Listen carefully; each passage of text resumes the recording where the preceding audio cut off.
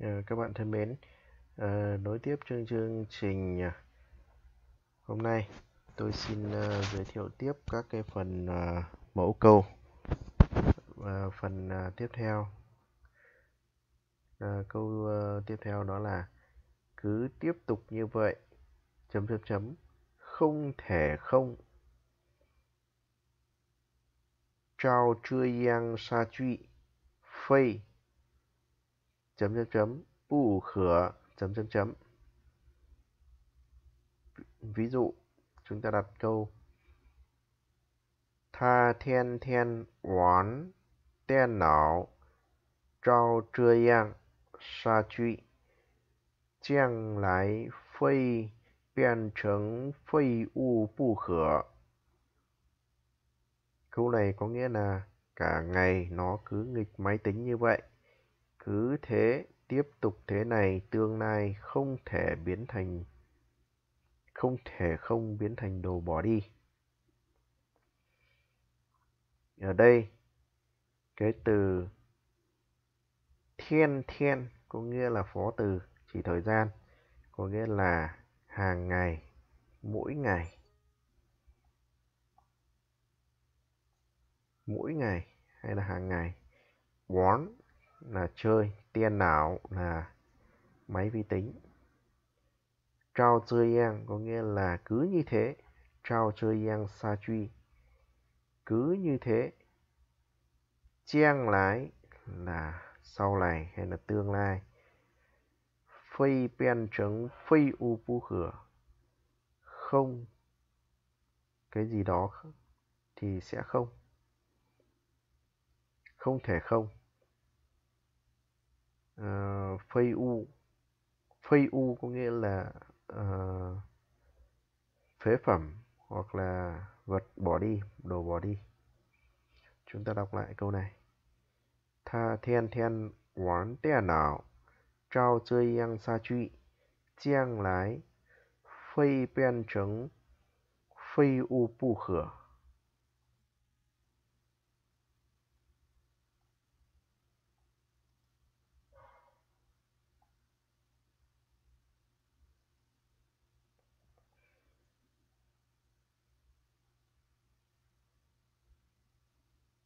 Tiếp tục, chúng ta có mẫu câu tiếp theo, không thể không.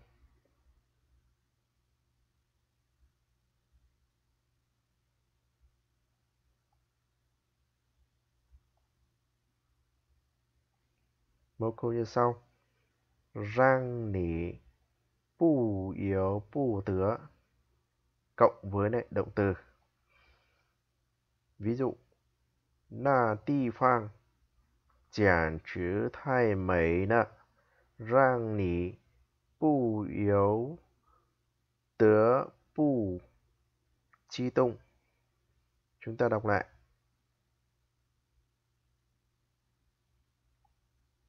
Na địa phương 简直太美了，让你不由得不激动。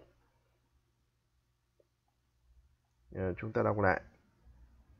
Na ti phang chuyển chữ thay mày lạ. Rang lý bù yếu tớ bù chi đông câu này ờ, chúng ta sẽ phân tích từng ờ, chữ, từng câu một. Na ti phang có nghĩa là nơi đó. Chuyển chứ có nghĩa là à, thật là hoặc là đơn giản là thai mày là có nghĩa là quá đẹp. Giang nỉ có nghĩa là sẽ khiến cho bạn hay là khiến cho anh. Bù yếu tớ bù chi tung không có lý do gì hoặc là không thể không. Chi tung có nghĩa là không có cái lý do gì để mà không không kích động hay là không không hứng thú.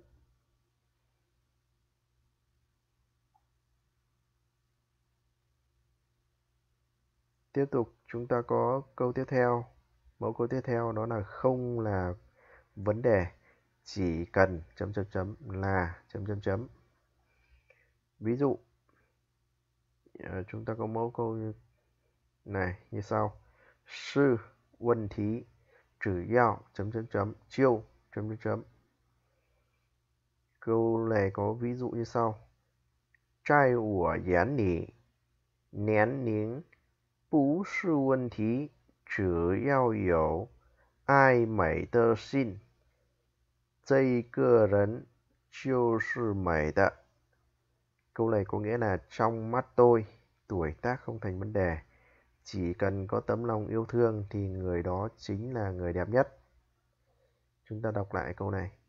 Trai của gián nỉ, niên ninh bú sư vấn thí, 只要有爱美的心，就这个人就是美的。Gián nỉ là trong mắt, nén ní là người trẻ tuổi, quân thí là vấn đề, trừ eo là cần, ai mẩy có nghĩa là yêu cái đẹp ví dụ, ai mẩy tờ xin là có cái tấm lòng yêu cái đẹp. Ai mẩy tờ rấn, có nghĩa là người yêu cái đẹp. Chiêu sư có nghĩa là chính là, câu này nhấn mạnh. Chính là hay là đó chính là, chiêu sư mẩy tờ là cái đẹp.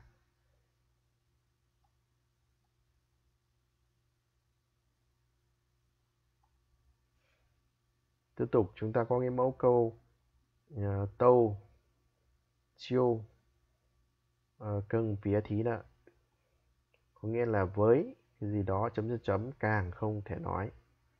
Ví dụ tâu tha na sủy phiến khảo của sư chí tâu chứng vấn đề